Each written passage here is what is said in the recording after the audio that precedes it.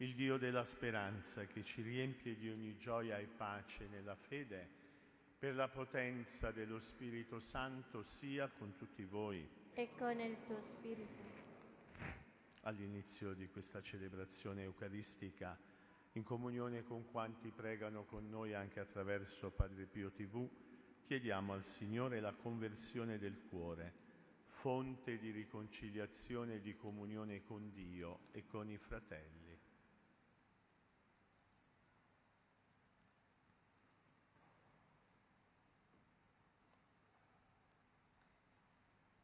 Signore, tu sei la via che riconduce al Padre, abbi pietà di noi. Signore, pietà.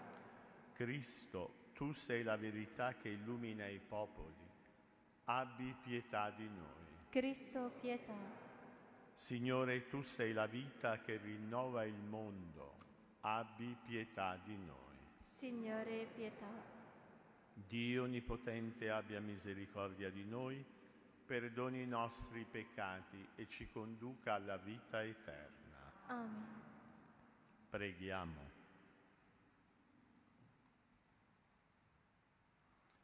Dio Onnipotente ed Eterno, accresci in noi la fede, la speranza e la carità. E perché possiamo ottenere ciò che prometti, fa che amiamo ciò che comandi. Per il nostro Signore Gesù Cristo, tuo Figlio, che è Dio, e vive e regna con te nell'unità dello Spirito Santo, per tutti i secoli dei secoli. Amen.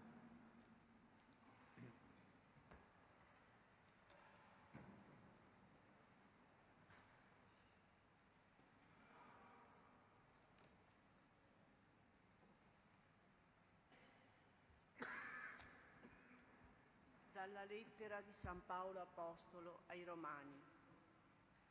Fratelli, ritengo che le sofferenze del tempo presente non siano paragonabili alla gloria futura che sarà rivelata in noi. L'ardente aspettativa della creazione, infatti, è protesa verso la rivelazione dei figli di Dio. La creazione, infatti, è stata sottoposta alla caducità non per sua volontà, ma per volontà di colui che l'ha sottoposta, nella speranza che anche la stessa creazione sarà liberata dalla schiavitù della corruzione, per entrare nella libertà della gloria dei figli di Dio. Sappiamo infatti che tutta insieme la creazione geme e soffre le doglie del parto fino ad oggi non solo, ma anche noi che possediamo le primizie dello Spirito, gemiamo interiormente aspettando l'adozione a figli, la redenzione del nostro corpo. Nella speranza, infatti, siamo stati salvati. Ora ciò che si spera, se è visto, non è più oggetto di speranza. Infatti, ciò che uno già vede come potrebbe sperarlo? Ma se speriamo quello che non vediamo, lo attendiamo con perseveranza. Parola di Dio. E rendiamo grazie a Dio.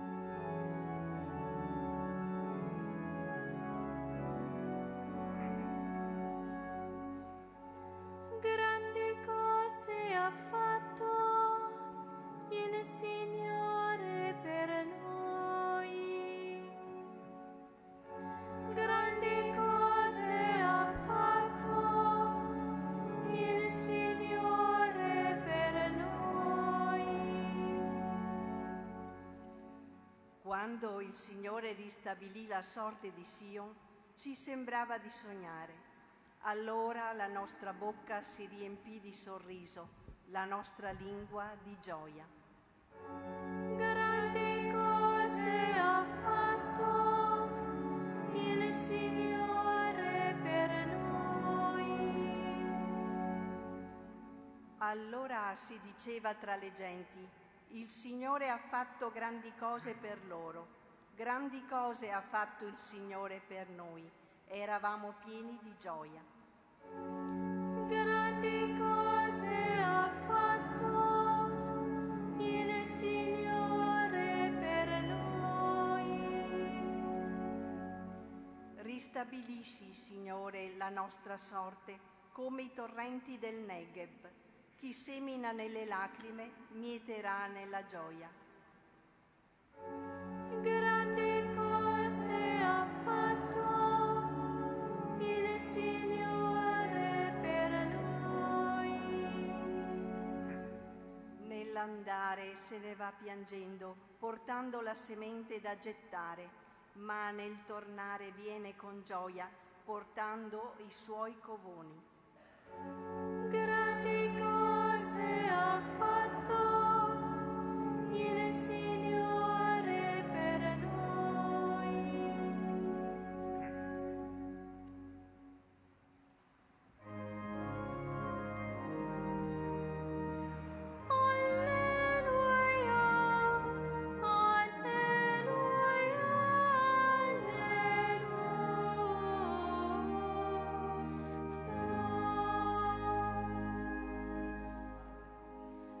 Ti rendo lodi, Padre, Signore del cielo e della terra, perché ai piccoli hai rivelato i misteri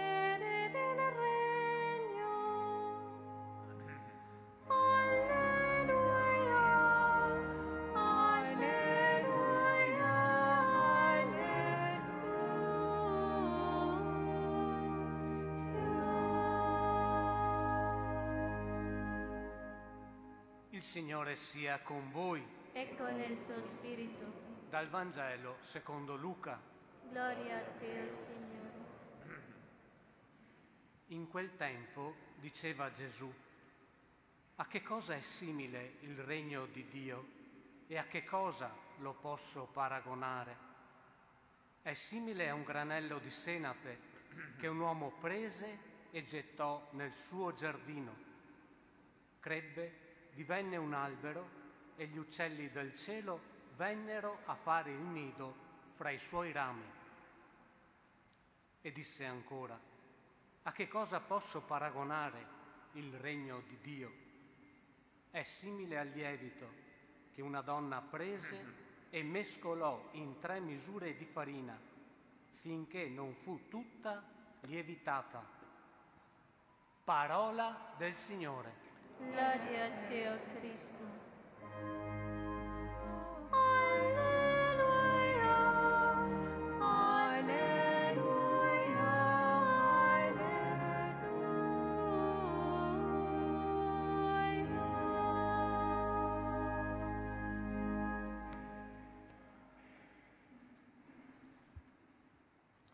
Cari fratelli e sorelle, spesso nel Vangelo ascoltiamo sulla bocca di Gesù la parola regno di Dio.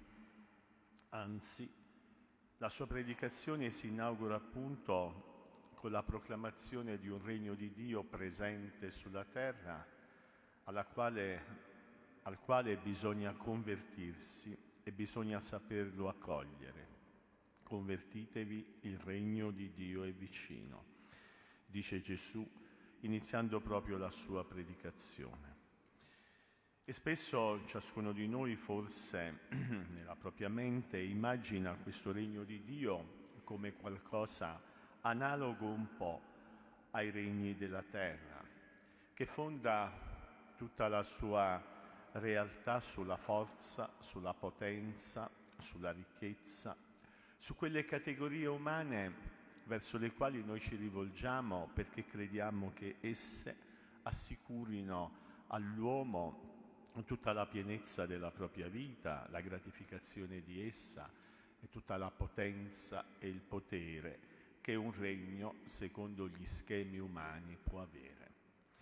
Ebbene Gesù, oggi, proprio parlando ai suoi interlocutori, fa capire che il regno di Dio è tutt'altro che quello che noi immaginiamo secondo i nostri schemi.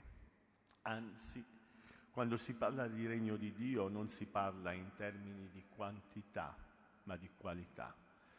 Non si parla in termini di potenza terrena fondata magari sulle armi o su tutto ciò che l'uomo può inventarsi eh, per gestire un potere, ma si basa addirittura su realtà, possiamo dire, piccole, infime, addirittura microscopiche. Il granello di senapa, il lievito. Gesù si rifà a degli elementi così piccoli da diventare misteriosi. Ecco perché giustamente il Vangelo ci ricorda l'espressione di Gesù, ti rendo lode, o Padre, perché ai piccoli hai rivelati i misteri del regno di Dio.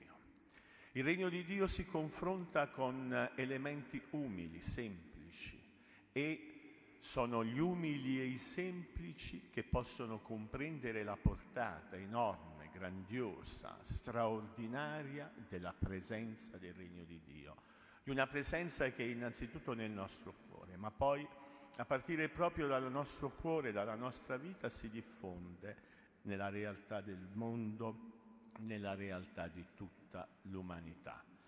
Ed ecco allora questi due elementi che ci fanno capire che tutto ciò che parte da Dio, il suo amore e la sua presenza, comincia da qualche realtà o da qualcosa che non ha a che fare con nostra, i nostri schemi, la nostra mentalità, ma che esige quella fede che proprio nelle cose piccole, umili e semplici ci fa riconoscere qualcosa di grande.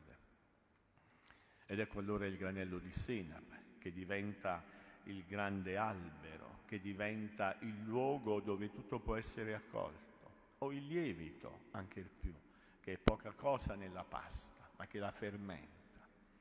E quando allora Gesù annunzia il regno, lo annunzia proprio in questi termini, qualcosa che è nel mondo, che comincia proprio con la sua presenza e che gradualmente si apre alla fecondità di quello che è l'amore di Dio.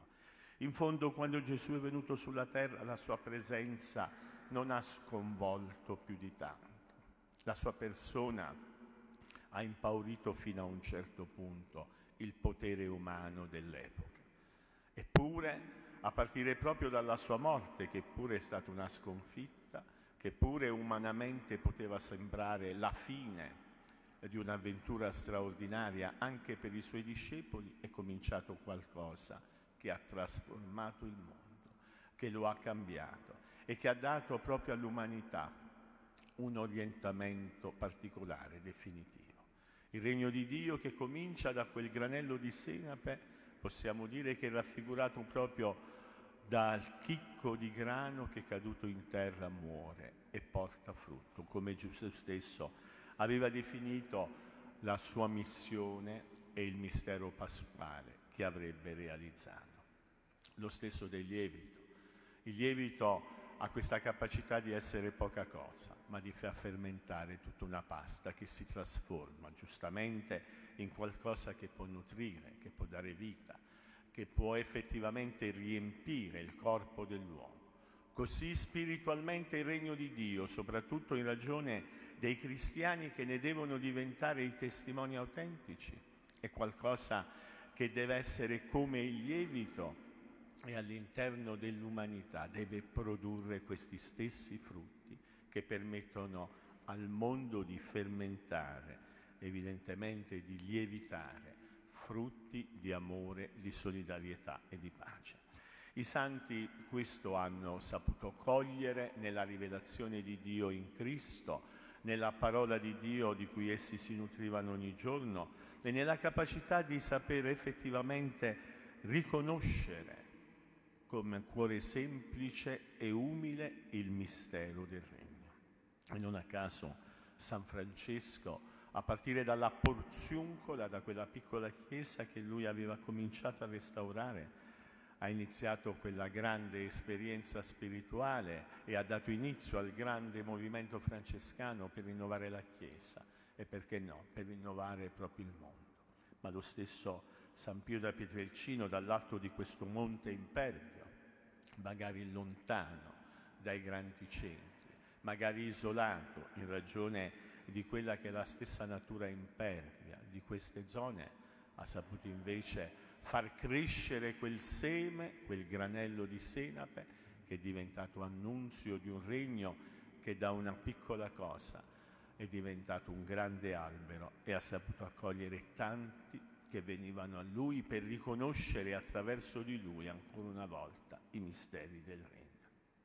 Fratelli e sorelle, quando ci apprestiamo a servire il Signore, a diventare testimoni del suo Vangelo, ad essere operatori della sua carità, non dobbiamo pensare secondo schemi umani e magari fidandoci di quegli strumenti potenti che l'uomo costruisce, ma forse dobbiamo guardare in profondità e dobbiamo quasi scindere l'atomo proprio per scoprire che la potenza di Dio e la salvezza di Dio provengono dall'umiltà, dalla semplicità, dal farsi poveri e piccoli dinanzi a Lui, ma per essere grandi nella missione che Lui ci ha affidato.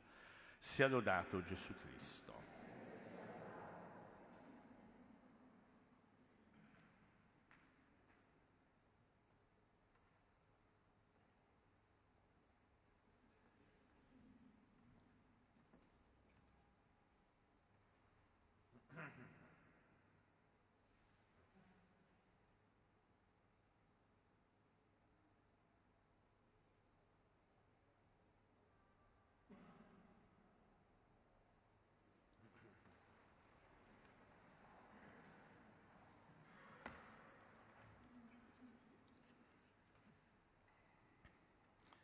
Da un piccolo inizio, un seme, un grande risultato, un albero robusto.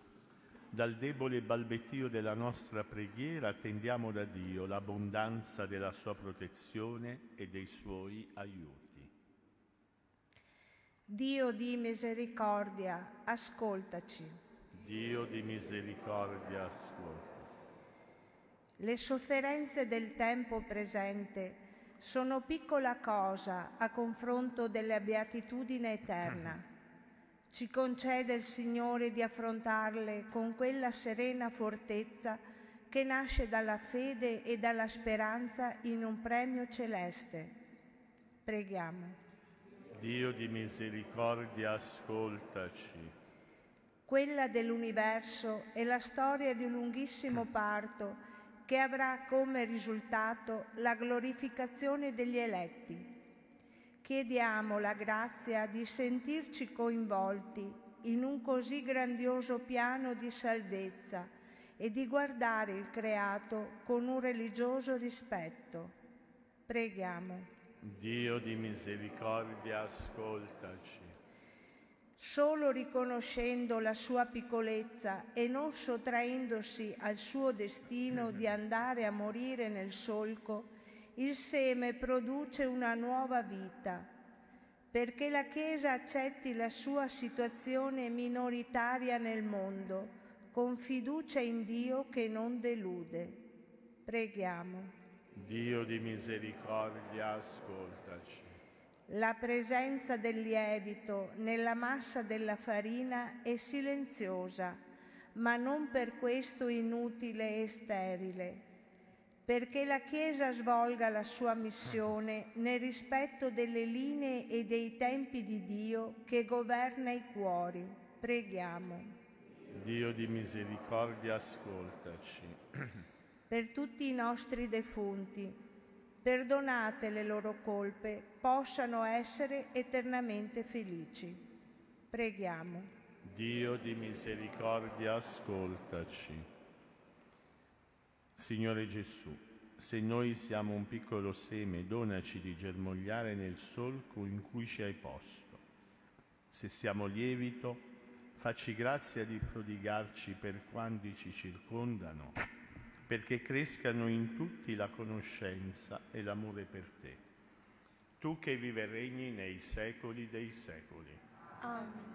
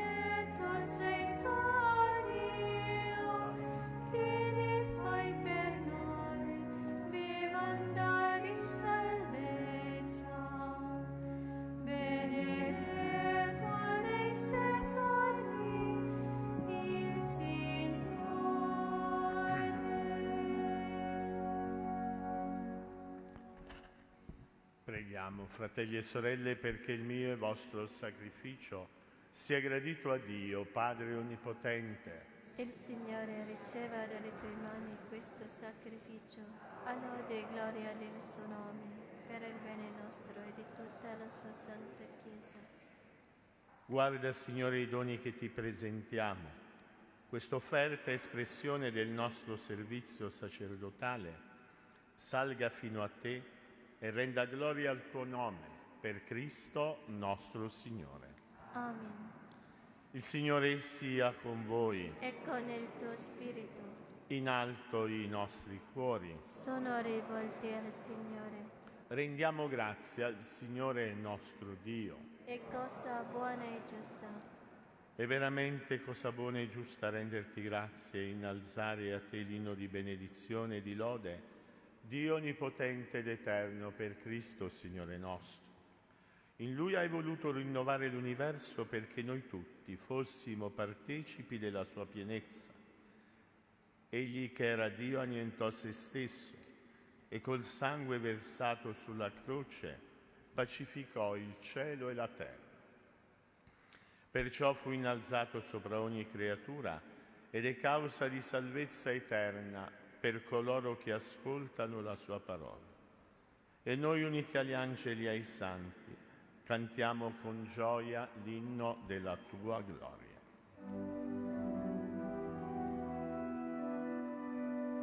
Santo,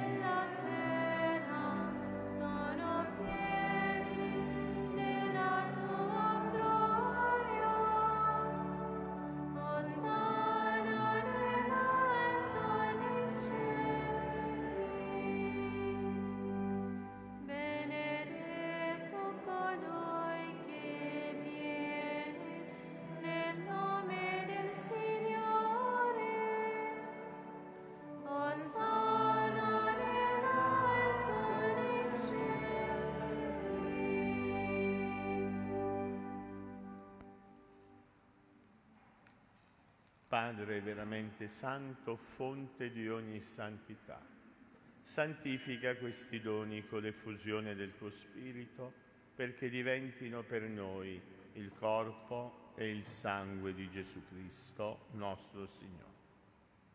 Egli offrendosi liberamente alla sua passione, prese il pane e rese grazie, lo spezzò, lo diede ai suoi discepoli e disse, prendete e mangiatene tutti, questo è il mio corpo offerto in sacrificio per voi.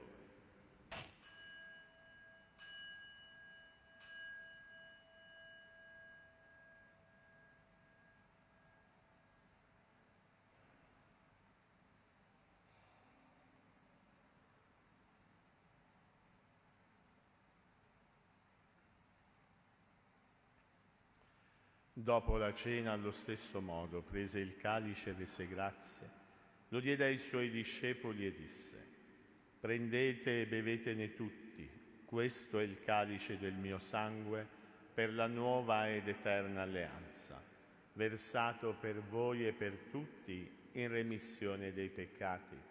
Fate questo in memoria di me.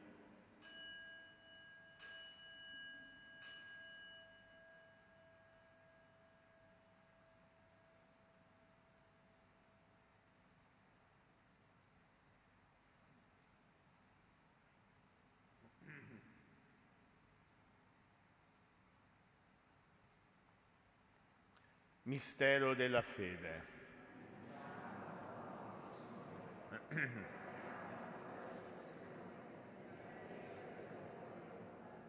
Celebrando il memoriale della morte e risurrezione del tuo Figlio, ti offriamo, Padre, il pane della vita e il calice della salvezza e ti rendiamo grazie per averci ammessi alla tua presenza a compiere il servizio sacerdotale. Ti preghiamo umilmente per la comunione al corpo e al sangue di Cristo, lo Spirito Santo ci riunisca in un solo corpo.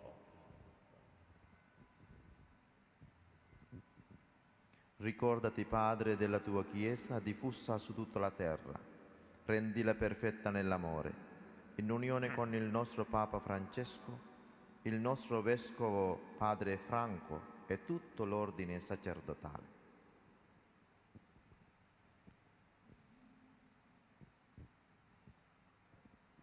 Ricordati dei nostri fratelli che si sono addormentati nella speranza della risurrezione e di tutti i defunti che si affidano alla tua clemenza, mettili a godere la luce del tuo volto.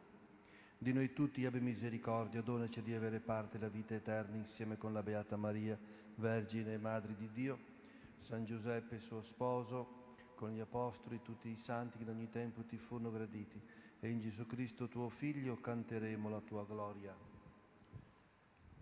Per Cristo, con Cristo e in Cristo. A te Dio Padre Onnipotente, nell'unità dello Spirito Santo, ogni onore e gloria per tutti i secoli dei secoli.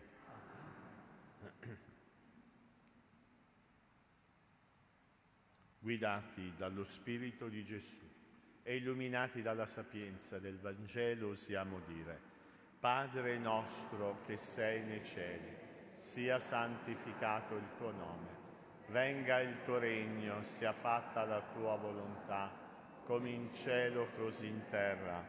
Dacci oggi il nostro pane quotidiano e rimetti a noi i nostri debiti, come noi li rimettiamo ai nostri debitori, e non ci indurre in tentazione, ma liberaci dal male. Liberaci, o oh Signore, da tutti i mali, concedi la pace ai nostri giorni e con l'aiuto della tua misericordia vivremo sempre liberi dal peccato e sicuri da ogni turbamento nell'attesa che si compia la beata speranza e venga il nostro Salvatore Gesù Cristo. Signore Gesù Cristo, che hai detto ai tuoi apostoli, vi lascio la pace e vi do la mia pace. Non guardare ai nostri peccati, ma alla fede della tua Chiesa. E donale unità e pace secondo la tua volontà. Tu che vive e regni nei secoli dei secoli. La pace del Signore sia sempre con voi. E con il tuo spirito. Scambiatevi un segno di pace.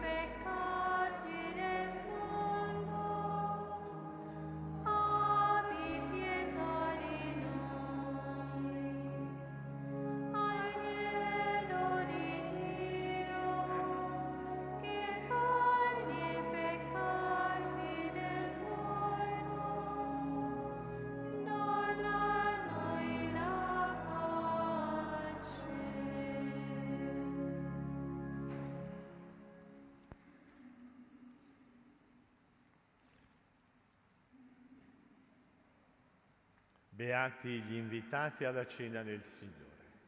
Ecco l'agnello di Dio che toglie i peccati del mondo. O oh Signore, non sono degno a partecipare alla tua mensa, ma di soltanto, soltanto una una parola, parola ed io sarò salvato.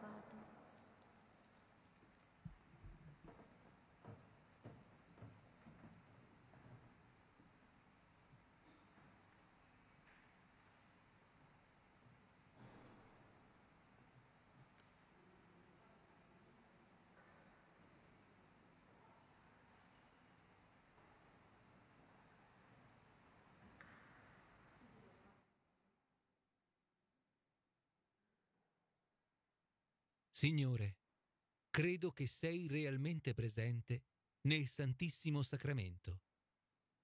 Ti amo sopra ogni cosa e ti desidero nell'anima mia.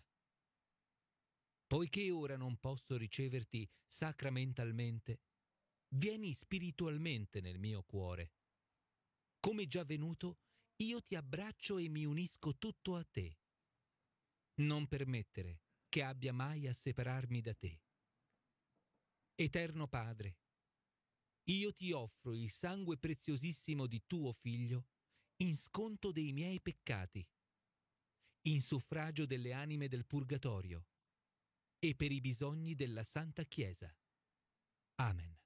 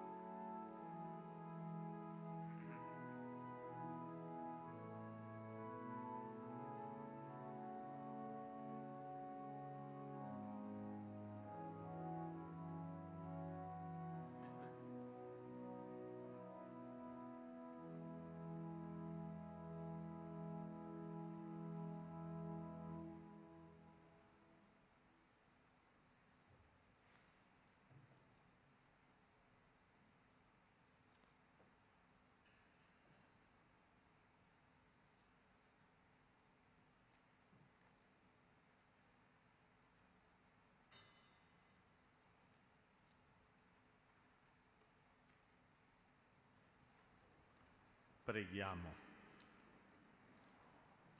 Signore, questo sacramento della nostra fede compia in noi ciò che esprime e ci ottenga il possesso delle realtà eterne che ora celebriamo nel mistero. Per Cristo nostro Signore. Amen. Il Signore sia con voi. E con il tuo spirito. Vi benedica Dio Onnipotente, Padre, Figlio e Spirito Santo. Amen. Nel nome del Signore andate in pace. Rendiamo grazie a Dio.